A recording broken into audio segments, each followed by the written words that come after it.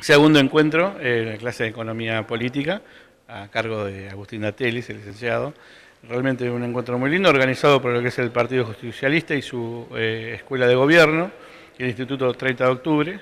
Así que realmente muy contentos, una charla realmente maravillosa. Bueno, la realidad, eh, por la participación de la gente, fue un día bastante complicado en el tema de la tormenta, muchísimas personas, más de 150 presentes, así que realmente estamos muy contentos. Y eh, bueno, una charla muy informativa, donde la verdad que nos, nos pone en conocimiento de la realidad económica de lo que es la República Argentina y lo que se viene para, los próximos, para estos próximos tiempos. Así que la verdad que creo fue muy, muy, una charla realmente informativa y de mucha calidad. ¿no? Eh, también, ¿no? Que está bueno tratar de transmitir a términos mucho más coloquiales lo que es un lenguaje tan técnico.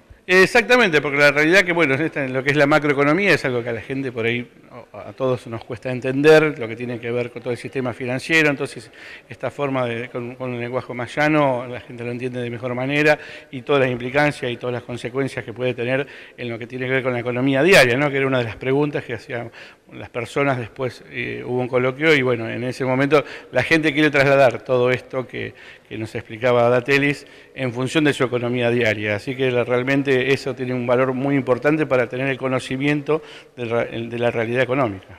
Esto de que si se va el dólar a 56 pesos, ¿cómo me va a impactar a mí que no compré nunca un dólar? Tiene que ver con esta situación en la que estamos todos sumergidos y bueno, toda la clase trabajadora y, por supuesto comerciantes estamos sufriendo de una manera muy importante. ¿no? Y bueno, pero bueno, como dice nos dijo Agustín, lo más importante es en este momento no es entrar en créditos y menos a dólares, o sea, atado a dólares lo, que, menos debemos hacer. Pero bueno, eh, la verdad que fue muy informativa, de una calidad enorme de conocimiento y también nos marca un rumbo eh, hacia dónde está yendo la Argentina y cómo deben trabajar en función de, luchar contra, ese, contra esta situación que está que nos está llevando el gobierno eh, y de qué manera, de qué manera construir una, posición responsable en función de, estas situaciones.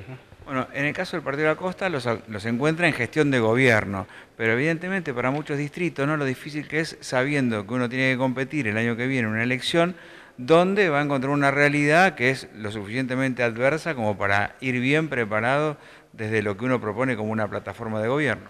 Totalmente, bueno, la municipalidad también no es ajena a estas situaciones, por eso se está trabajando con las cámaras de comercio, con las cámaras de turismo, con los hoteleros en función de lo que la, temporada, que es nuestro por ahí en el momento más importante del año en lo que tiene que ver con lo laboral ¿no? y económico del Partido de la Costa, así que en función, entendiendo esta realidad, a dónde está yendo el país o la situación económica, cuál es la real y concreta, es que por eso que nosotros estamos adelantándonos a esta situación, por eso está bueno que la participación participación de todos los sectores en estas charlas, porque se ve el panorama concreto y, real de toda la situación. De esa manera se puede construir políticas de gobierno que tienen que ver en lo local, pero que también influyen eh, eh, eh, en, lo, regional y en lo nacional. Así que es importante que el municipio de La Costa, que es en este caso en el área que es turismo, tiene muchísima implicancia, tiene muchísimo reconocimiento nacional, ver las acciones que hacemos desde este lugar para poder resolver las acciones de todos los lugares y todo, y todo lo que tenga que ver con el turismo.